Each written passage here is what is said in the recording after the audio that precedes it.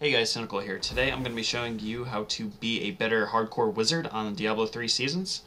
Um, as you can see, uh, I'm actually a really high ranked wizard right now, and I'm going to be showing you guys the playstyles and like the gems and like pretty much the tactics that you need to do in these great to be able to push solos and try to get up on the leaderboards. Alright guys, the first thing I want to show you is the legendary gems that I use in my Firebird setup. The first one I'm going to show you that I use is the Poison Gem. What's going to happen, it's going to put a poison dot on your target. It's going to take a lot of damage as well as uh, take 10% increased damage from all sources once you get the legendary gem high enough. The second one I'm going to show you is the Zei's Stone. This is going to be a huge part of your Firebird's kiting uh, tactic pretty much. What's going to happen is the further you are away from your target, the more damage you're going to take. So if you have the infinite Firebird dot on your target already, your dot's going to update dynamically, which means you don't need to reapply to the dot or anything like that. It's just going to scale off your distance and make your, your the targets take more damage pretty much. The last gem I want to show you guys is going to actually be a defensive gem. I've actually personally love this gem. I don't see many people using it, but it's the Esoteric's Alteration. What's going to happen with this gem is pretty much you're not going to take any more magical damage from any sources. This includes monster affixes such as Thunderstorms, Jailers, Electrified, Poison, pretty much anything. It's going to be a reduced amount pretty much. And then after you get it to rank 25, once you get below half, your resistances are practically doubled. So on top of being immortal to elements, you're going to be even more immortal. So it's going to help so much with your Firebird's kiting, and you pretty much don't ever proc anymore due to elemental damage. Alright, and as you can see here, my build is pretty standard for Firebirds. We just got the, all the fire spells on your Black Hole, your Blizzard, Hydra, as well as your Teleport Safe Passage, which is extremely important. Uh, magic Weapon, more damage, and Energy Armor. I like Prismatic Armor for increased resistances, you know, because I like not taking damage. And for the passives, you got the Blur, Unstable Anomaly for your proc, Evocation for reduced cooldown and Black Hole, as well as Teleport, and then Illusionist, which is the, probably the best passive you can have aside from Unstable Anomaly. Alright, and we're just going to get started here. We're going to do a 41 Trial Stone, just to, we're just going to see how it plays out. Alright, so pretty much the first thing mindset right here is you're going to get your buff ups, of course, immediately. And then pretty much the playstyle that you're going to want to do is very aggressive playstyle. It's going to be a kiting forward build, so your Firebird's dot initially does infinite damage. So as long as you get the dot up on all your targets, you're going to be able to kite forward and kite back, do whatever, that those mobs will die. So you don't have to do any more damage to them, they'll just die over time. So the goal for the Firebird's Wizard is you're going to want to try to pull as much stuff as you can, get your dot up on as many... Uh, many things as possible here, including pulling as many champs packs as possible, because that's going to be what's going to help your progression in these greater rifts. As you can see, they drop those purple orbs, and each orb is worth 1% bar, so every time you kill a champ pack, on top of like the 2-3% it gives you, just from killing it and its minions, as well as it gives you 3 more percent. So the more champs pack you kill, the better. Especially for a wizard, like if you can keep pulling them forward, you don't have to do anything else with them. You kill white mobs, you kill whatever, and you'll get the the bonus experience from uh, you know, killing the uh, champ packs and Champ Champax and Elites. And as you can see here, it's more for hardcore. It's not like super super aggressive. Like on softcore, you can just play kind of you know, pretty much dive in head first, not have to worry about anything else. Um, just kind of go for it, you know. But on hardcore, you're gonna have to do. You are gonna have to kite back a little bit because you know there's the risk of dying, which you don't want to do. But with the playstyle and like all the defensive gems and everything like that that I use and the setup that I run, I don't really worry too much about it.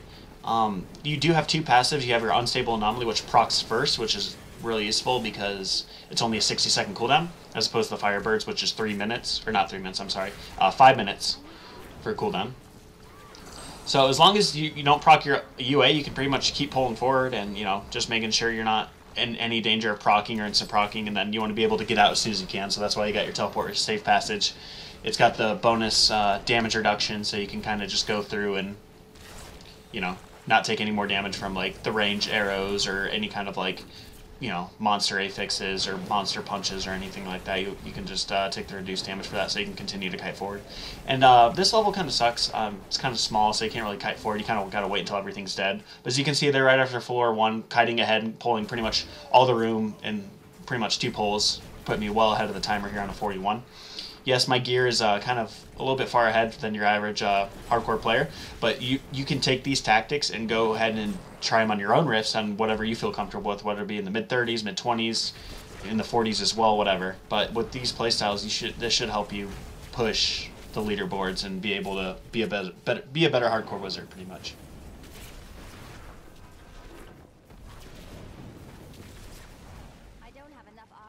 This map here, I kind of got unlucky and unlucky at this, lucky and unlucky at the same time. Um, this is a really large map. Um, there's a lot of mobs, but it's very, very straightforward. There's not too much room for kiting. Like, yes, the density is really, really good.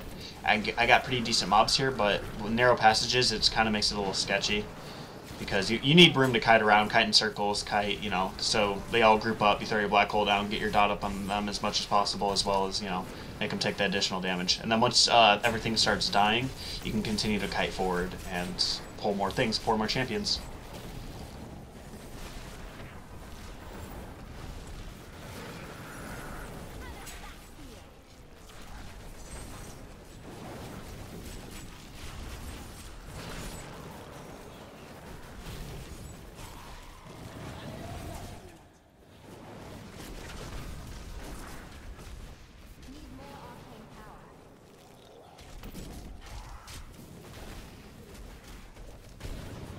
Pretty much this is how it goes throughout the entire rift. Um, one good thing here is you can see I got a power pylon. Um, you want to save those for the Rift Guardian.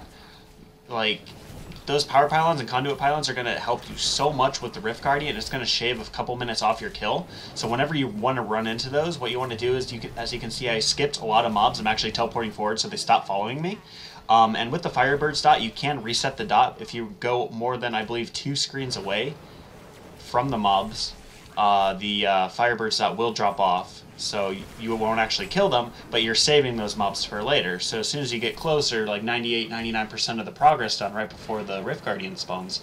You teleport back, you kill those mobs right next to the pylon, the Rift Guardian will spawn right next to you, you activate the pylon, and you proceed to, you know, crush a skull in or whatever you want to do, however you want to do it. So whenever you run into the power pylons, conduit pylons, you want to absolutely save those for the Rift Guardian. If you uh, find a couple of them right next to each other, that's even better. But if you find some that's super spaced out, you can use one of those pylons to help you clear the trash a lot faster, and then use another pylon to help you kill the Rift Guardian. Because essentially, you'll really only need one pylon to help you kill the Rift Guardian to shave off a couple minutes off your time, which is going to be extremely helpful. But as you can see, even if you don't, if even if you're not lucky with pylons at all, like using this tactic, you'll still save tons of minutes on the trash, so you still will be able to clear these greater rifts in a, in the time uh, the time that you need.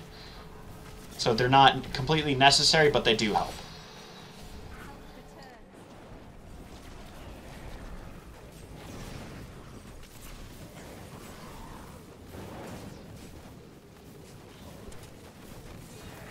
And like I said before, the fi the Firebird Wizards is pretty much non-stop, with you stacking as much defense through the gems that I showed you before with esoterics, with your blur, uh, you know, having vitality on your gear, all resistances, armor on your gear, having all that stuff. It's going to help you push further into these rifts because the only thing that slows you down during these rifts as a wizard is um, pretty much having to kite back because your UA procced or, you know, your Firebird's procced. Pretty much if your Firebird's proc in a rift, unless you're pushing for rank 1, it's pretty much over. You should just back out, quit the game, restart it, game over, start a new rift. It's a lot better than killing your character for trying to clear a Greater Rift 37 because you're, trying to level up a couple of gems. It's just not worth it in general. So you continue to kite forward, got a lot of mobs. As soon as most of the mobs start dying, um, just keep kiting forward. As soon as the champ packs die, make sure you keep note of that just so you can run back, grab those, uh, grab those orbs, get those extra 3%, and keep going forward.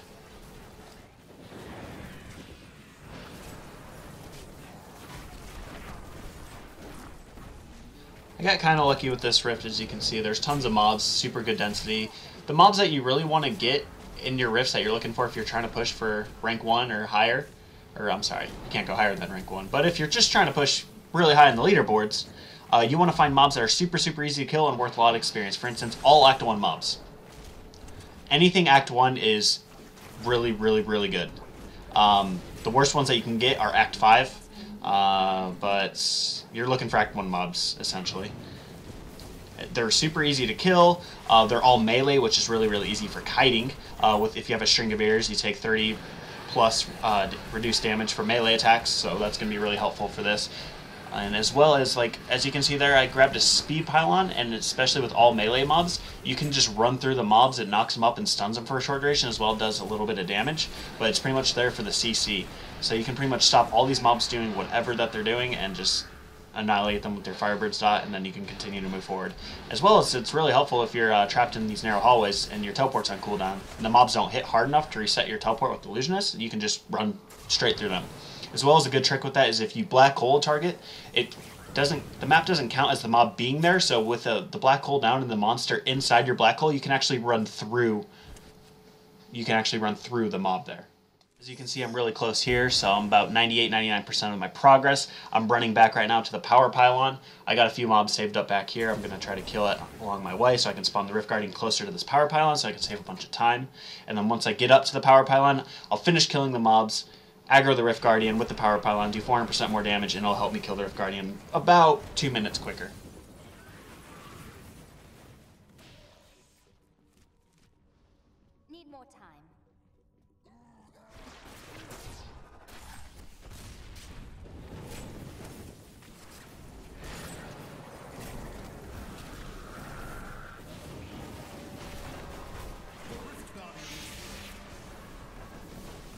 Alright, so here we're at. Rift Guardian's just spawning back at Blighter, which is pretty easy.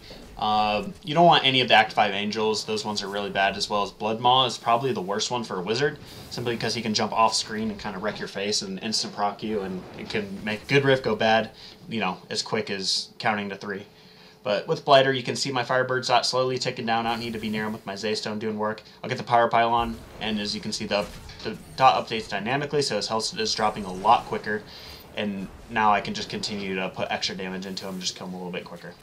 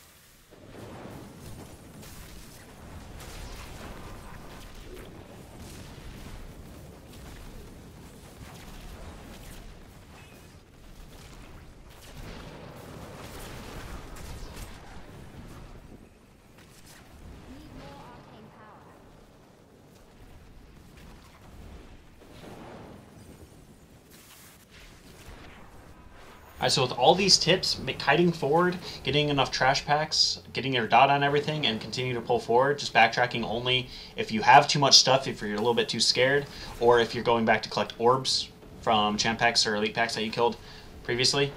Uh, but other than that, with these just simple ways to play the Firebird Wizard, on hardcore you should be able to push into at least the high 30s with um, pretty mediocre gear. As long as you got six set Firebirds, you got a decent uh, one-handed weapon or even a furnace. Uh, you can craft Devastators, which is an extremely good weapon. It's really easy to get Ancient since you can keep crafting it. Get a Firebird Source. Pretty much stack as much fire damage and elite damage as you can, and then pretty much all these these Rift Guardians will fall over, as well as uh, the rest of the trash inside these rifts. Alright, so there it is. 41 done. We had three minutes, roughly three and a half minutes left on the timer. We only got one legendary, which is pretty crappy, but that's alright. Let's keep going forward. We're just going to upgrade Keystone here, so I got more keys, keystones to go through. And yep, that's pretty much it. So if you guys have any other questions or comments for me, or if you guys want to see uh, more guide videos on Diablo or anything like that, just let me know in the comments below. Make sure you guys subscribe and follow me on Twitch at twitch.tv backslash sinnical. I'm usually live streaming every single day, so just, you know, stop by, say hi, do whatever. But until next time, guys, have a good one.